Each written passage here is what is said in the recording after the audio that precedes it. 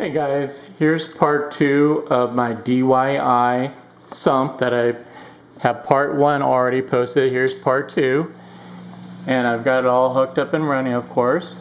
So you'll see, here's the sump. And here is my protein skimmer. This is a Bubble Magus Curve 5. And I also have a filter sock in the back. And I'm also using a Bubble Magus filter sock holder and you can see my one and a half inch return line there in the back.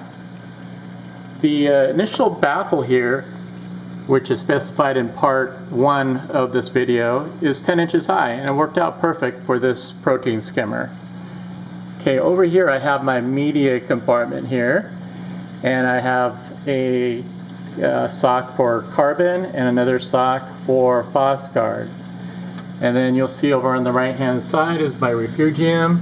And I got some Chaeto and I got some live uh, rock back there. And I also have my heater in the back. I don't know if you can see that, but down below the uh, Chaeto is my heater. It's an Aqueon 200 watt heater. And uh, I chose that one because it's encased in plastic, so it's going to be less prone to breakage. Did have to fit it diagonally so it'll fit in there properly. Let me give you a different angle here. Okay, so here's the right hand side of my sump. And there you'll see the heater in the bottom, live rock, the Chaeto. And then over here is my return section. So I have my return pump here. This is a Rio 6HF. And I think it provides about 200, I'm sorry, 350 gallons per hour and that works out just perfect for my 34 gallon reef tank. In the back you'll see I have two float switches, one for the normal position right here and one for the high level.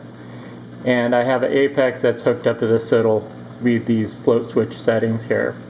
Right now my water level is low because I hooked up a chiller recently and it pulled out some of the water into the plumbing lines don't have it fully running yet, but I have this return pump right here that pulls water out from the return section of the sump up through the pump.